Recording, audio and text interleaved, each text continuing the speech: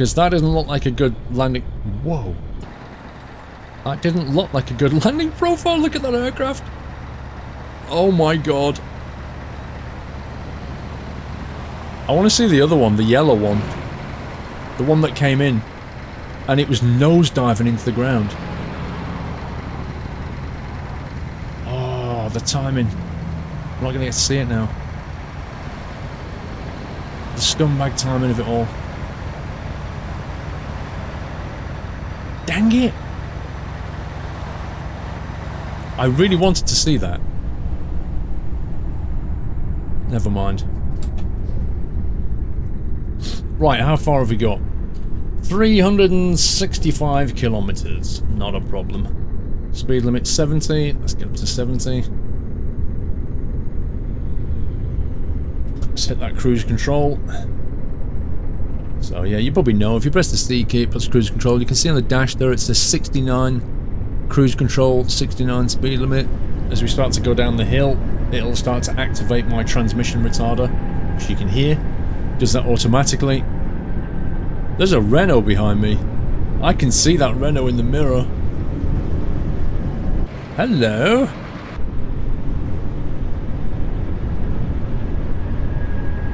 That's interesting because I'm doing the speed limit down here. So I'm not sure what he's doing. You just like using gravity, don't you?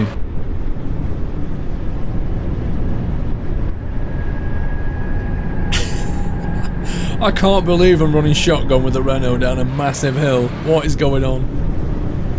You couldn't write this. He's definitely speeding. You don't have a retarder on though.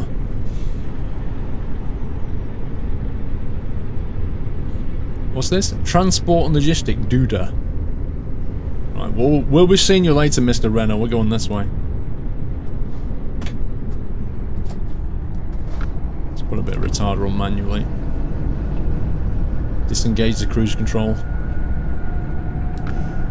Bit more retarder. Uh, okay, there we go. Right, twisty bends and humps. Did you see that sign? TSM like to throw these things at you. See, look at the left there, the, the tech string on that mountainside, you see it? You see how Minecraft that is? That's like what early TSM was like. They kind of did the same thing that the, you know the ETS, the, sorry, the ATS coast-to-coast -coast map, where they are very much not focused on detail, they're just focused on drivable roads, like, if they can put down 500 kilometers of track of road per day like as they're building this thing that's what they're going to do. They're just going to stick some buildings down stick some cities down copy past some cities drop some stuff in and boom boom boom boom boom boom just keep fleshing it out giving you more and more and more places to drive. That is very similar to what TSM did in the early days they just went all the way to Africa and unapologetically expanded as quickly as they could. I am not sure what that guy is doing. I'm thinking he's broken down, maybe. I feel sorry for the people behind him. No, I don't. They're AIs. I don't care. Um, so yeah, that's what TSM did in the early day, and as a result, they didn't really... They sacrificed quality for quantity. Which is kind of like what the Coast to Coast is doing initially. I'm sure they'll go back later and make it better, better quality. And also the map, the map authors get more and more skilled as they do this. They get better at it. I'm speeding. So, you know, I don't have a problem with it. As far as I'm concerned, it's more places to drive. It may not be the best quality, but it's more places to drive. And at the end of the day, as long as I don't fall through a hole or see a massive gap in the in the mountainside, I'm not that fussed about the lower textures, just, you know, it's just what happens in order to get us more stuff to drive into. And, you know, you, if you don't like it, you don't have to drive it, do you? So, there's no point picking up a mod and then driving it every week and complaining about it. What's the point of that? If you're going to pick up a mod and you don't like it, just don't install it. Don't hate on it.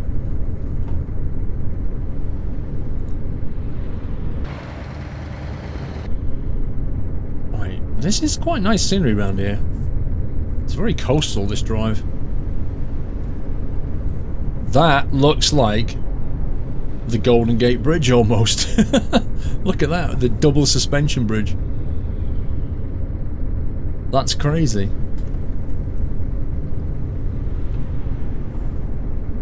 I wonder if um, I wonder if modders are going into ATS and then kind of nicking assets and buildings and lifting them out and bringing them, maybe bringing them out, retexturing them slightly, recoloring them, and then dropping them into the ETS world. Look at that bridge.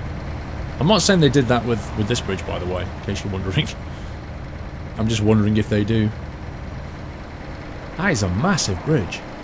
Can we not drive that? That's a real shame. That's not a drivable road by the look of it. That'd be a cool little drive, that. There are plenty of bridges like that in uh, Pro Mods. Particularly around the Denmark area and, um, and Norway. You tend to see things like that going on.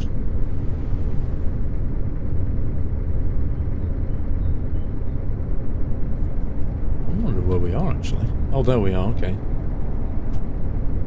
Alright, so we've got a cruise down this road. I didn't realise looking at the map that this was going to be coastal road because the maps unfortunately don't show you any terrain data. They just show you the the road system. So you don't know if you're going up... And they don't show you contours or heights or anything, which would be kind of cool if they did.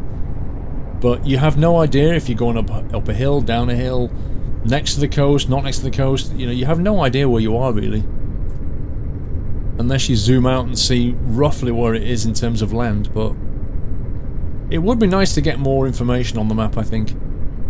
Make it look more like a proper GPS, you know, where you could you could look down here and you could see trees, like bits of forest areas or urban areas, uh, waters, water, that kind of thing. That'd be really nice to have.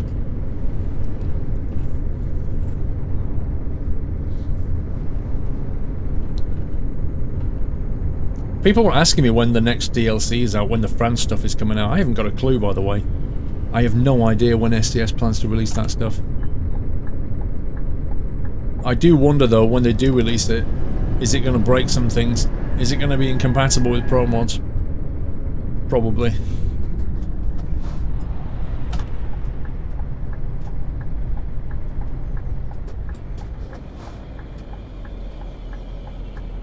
Hovo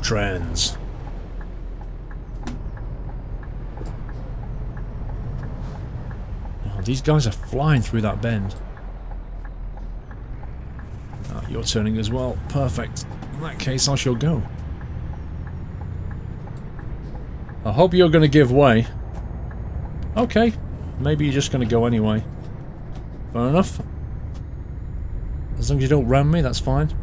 Look at that building on the left. Like, you've got this... What looks like a high-tech building, and then some very very green, very, very green crop, I think. Which makes me think it's some kind of, I don't know, botanical, hello, some kind of botanical growing place, maybe.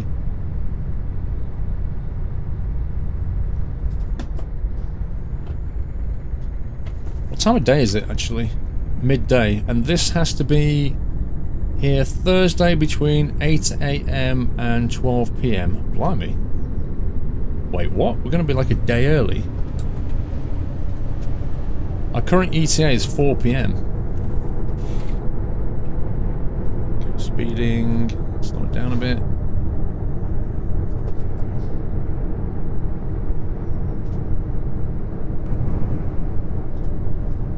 Hmm. That's really weird. I don't understand why the clock is so far off on that one. Maybe he was expecting me to rest or something, but we already did. Like, we had a seven and a half hour trip on the ferry and a 14 hour trip on the ferry. I mean, that's pretty much all the rest you need. We woke up, it was 8am, we can get a full day driving in and still get this here, so I don't quite get why it thinks Thursday was a, a deadline. I'd like to see some variation in the job market jobs, actually. Um, if you compare it to other games where you uh, take on contracts, for example, a game like Transocean, which is like a shipping simulator, where you take on contracts to move goods around, and this is a similar concept, really. Um, but in those, you will be able to take... You, you'll have to kind of look at the contract that you're taking and look at how far it is and sometimes the deadline will be really tight you know and sometimes the deadline will be way out. And it kind of depends on the kind of goods you're taking. So for example if you're taking um, if you're taking fresh fresh produce so if you're taking milk or cheese or something like this that will go off tomatoes anything that can potentially like it's time critical isn't it? Because in fact thinking about this you used to get this in, I think, Railroad Tycoon, like almost 20 years ago. Games like Railroad Tycoon had this concept. They would have uh, trailers, they would, sorry, they would have carriages which were filled with coal, for example. So if you was taking a, um, if you was taking some hardcore stuff like, you know, uh, sandstone or coal or oil, something that just doesn't really go off it's not a perishable good in that sense. Um, the the time that you got it there was way less relevant. Way, way, way less relevant than if you was taking, say, passengers in Railroad Tycoon, or you was taking milk, or something that is going to go off and is time critical. You have to get it there quickly. And they should bring that kind of a concept into the job market. So that if you decide to move refrigerated goods around, then you need to be aware of the time. Like, you can't just look at the map and go, hey, you know what? I've not been to this city over here. While we're on our way, why not detour and let's go and pick up that discoverable? Like, you're, you're going to be saying to yourself, no, I can't do that because if I do that, it's going to make me late and there's going to be pretty harsh penalties for me doing that. Whereas, if I'm just taking a trailer um, full of, I don't know, sand, or, you know, something that just doesn't go off and I've got five days to deliver it, like they're, they're really not bothered, then that's cool. I can just go sightseeing on, on routes, that's up to me. Or just take my time. And they should bring that kind of a thing. I know they've got urgent jobs and, and that kind of thing, but that's only scratching the surface of the possibility that they could go through. They need to consider the kind of goods that you're that you're moving and how likely they are to go off over time, as well as whether the customer wants it quickly. So if it's like an urgent delivery, fair enough. And also you've got things like fragile cargo. I mean, fragile cargo is an interesting one in this game because it gives you a bonus for taking like fragile cargo, but you know, if I was to have a smash, then I'm sure the penalties for fragile cargo are way, way harder. Like, way higher than normal. But I don't know. I mean, there's no sense of how you how you treat the trailer in a way. If you see what I mean, like the way that you drive round corners, you can still fly round corners, and as long as you don't tip it over, you're fine pretty much. Whereas in the real world, if you've got a fragile cargo, you've you've got to drive carefully. Like every time you take a corner, you can't take it quickly because things are swinging in the back. And maybe we can have some kind of um, a G-force indicator. You know, we can have something on the dash down here that's kind of, you know, obviously it's not realistic, it's a gameplay thing because a real truck driver can can sense, he can feel his cab turning, he can feel the weight behind him moving. He gets all of that from his senses. We don't. We're just sat in a virtual cab. So we need to be told that kind of information. So some kind of little mini mini HUD there that would show us you know when you're when you're cornering it would say you're applying like 2 2 Gs laterally here and it would show you any kind of shock value. So if you're going over, if you see any speed bumps and you don't slow down, if you don't back off on the speed, as you go over them, you're going to see a very sharp spike in the g-force, the vertical g-force on the trailer. And that's going to lead to damage or an increased risk of damage of the goods in the back. Which, you know, even though they might be tied down and secure, um, impactive g-forces are going to potentially damage things if they're too strong.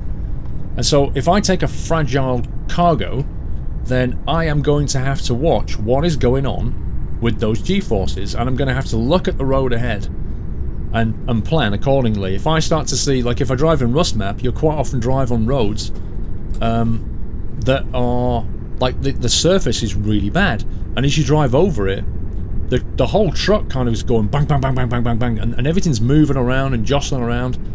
And for a fragile cargo, that's pretty serious stuff.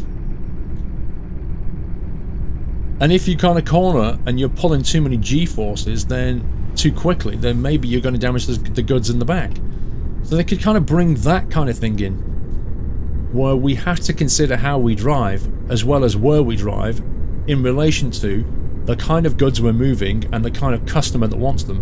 And that way you could get not only a lot more variety in the job market, but you could also bring in a lot more gameplay for the, the person driving. I think. So I'd like to see, I'd, I would like to see the gameplay of Euro Truck and American Truck move on a bit, because it kind of feels like it really hasn't. If you consider that ATS is essentially uh, ETS in a different country, like in terms of the gameplay, it, it didn't really move. And the job market itself hasn't really moved in the last three and a half years. Has it? I mean, what what has come in, in the last three and a half years in terms of the job market? It's, you know, it's, it's not much, really, is it? Like, the job types haven't changed, really. The skills that you get for as a driver haven't really moved on. The gameplay itself is mechanically the same in the last three and a half, four years. And I think it's high time that we that we started to move that job market on now. Move the complexity on a bit because everybody that's still playing this game, particularly Eurotruck, because Eurotruck is, like I say, three and a half years old, coming up for four. Anybody that's still playing Eurotruck now is very experienced with it. They're a bit of a veteran, to be honest.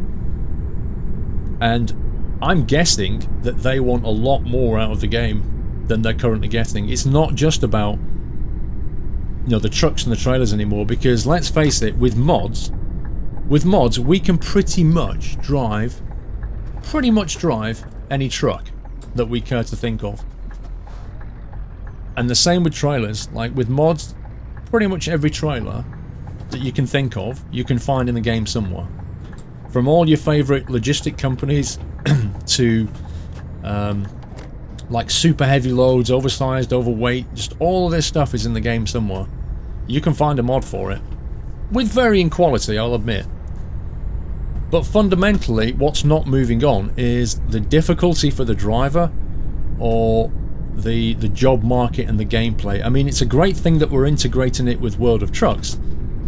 That's beautiful. I mean, that's a step in the right direction. But equally, they need to flesh out the the gameplay of both of those areas now and start to think to themselves, well, you know, this this is not a new game anymore. People are not new to trucking anymore. We need to think about putting things in the game that's going to keep people playing this game. And the only real way to do that is to start moving up not just the difficulty factor, but fleshing out the gameplay, fleshing out on achievements of what you can do within the game. Moving goods around. Like if we're going to have an, an online job market, then we're going to have to have a much, much better um, online job market, I think. If you take the flight simulation world, um, you've got things like uh, FS Economy, which is like um, an online system that you can use. And it's not just the only one. You've you've had like Air Hauler, Air Hauler 2 I think has just come out. You've got that kind of thing. SCS should perhaps consider just having a look at those things. I know the the flight sim, and they have nothing to do with truck sim, but essentially they're all about, you know, particularly air hauler, is all about moving commodities around using aircraft. And essentially, Eurotruck is all about moving commodities around using trucks. So in that sense, there's no difference. It's still logistics at the end of the day. It's just how you do it. And they should look at the the kind of things that you can move, the kind of options you get, the way that you're paid. Um, they should look at all that stuff and then start to flesh out what Eurotruck has, as well as American Truck and bring all that together online.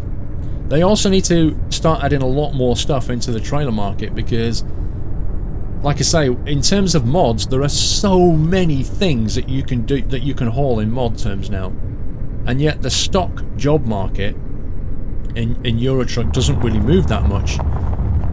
It's still the same old, you know, Euro goodies, and uh, there's a tanker in there, and there's a crane maybe, and all this kind of thing the variety needs to be opened up because if we're ever going to start just driving external contracts all the time, we are going to want to see a lot more variety in the goods that we haul. And yes, one day I would love to own my own trailer. I'd love to own a fleet of trailers. I'd like to have flatbeds, uh, trailers with cranes, refrigerated trailers. I'd like to see all of that that I can buy and own for my my company, and then, you know, I will have to decide um, from the available trailers whether we can haul something. So if I've got 10 drivers and I've got maybe 13 trailers, um, I might have, you know, seven box trailers, a flatbed, all kinds of variety in there. But, you know, I can't just take whatever job I want because I can only take a job that I can move. And that depends on um, whether I've got an available trailer for it. I mean, sure, sometimes the customer is going to supply their own trailer, especially if it's a specialist item. Like an oversized thing, they'd probably just say, fine, here's a trailer. But, it, you know, you might get more money if you use your own trailer kind of thing. More stuff on the wish list from Squirrel, lol. I'm not short of ideas, that's for sure. Anyway, I've talked myself all the way to the destination, amazingly. So now I just need to park up. I don't know if you guys disagree with anything I'm saying, or agree with some of it, or disagree with some of it, or perhaps you have your own ideas as well. Uh, don't think for one minute that I can just start emailing SCS or emailing Pavel and going, hey, we should do this, this, this, this, this, and this. That's not the way it is. You know, I'm sure they have their own ideas. I'm sure they've got a massive list of things that they need to do. And I, I tend to not interfere with that. I, I just make videos. I talk about stuff. Uh, I don't, you know, I don't use my my sort of contact with SCS as a way of, you know, emailing them saying, please put this in the game. I don't, I just don't bother with them with that kind of thing. I think, you know, I take the view that it's their game. Um, I play it, you guys play it, I make videos about it, and uh, I install the engine. And if I just, you know, maybe maybe they'll watch something that I do, maybe they won't. Uh, maybe they'll listen, maybe they'll take something on board. Maybe they're already thinking about this stuff. Or they just don't have the manpower for it. I don't know. But, you know, don't don't say to me, oh, you should email them about this. I'm not going to do that. I could do that, but I'm not going to. I'd rather them, you know, if they want to, watch my video and listen to listen to what I have to say, if they want to if they're interested, and maybe take some of it on board. Maybe they look at the comments, guys. Maybe, you know, I'm sure there are people at SCS who watch these videos and probably read through some of the comments and then read your comments. So if you leave a comment and say, this is what I think they should put in the game, have a discussion, you know, if it gets upvoted, they're probably going to pay attention to that. So that's another way that you can uh, have your voice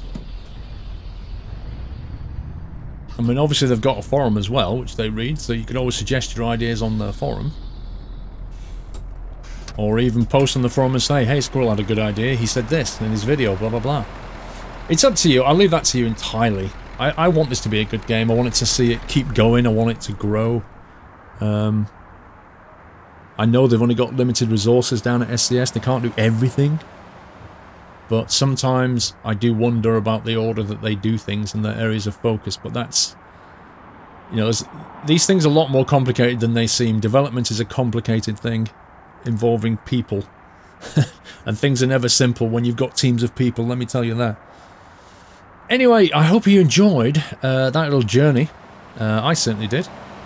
We got it there on time, on budget, undamaged, and we got paid and got some XP. And yes, you may be wondering why I've got 10 trillion, billion, squillion euros in my bank, etc.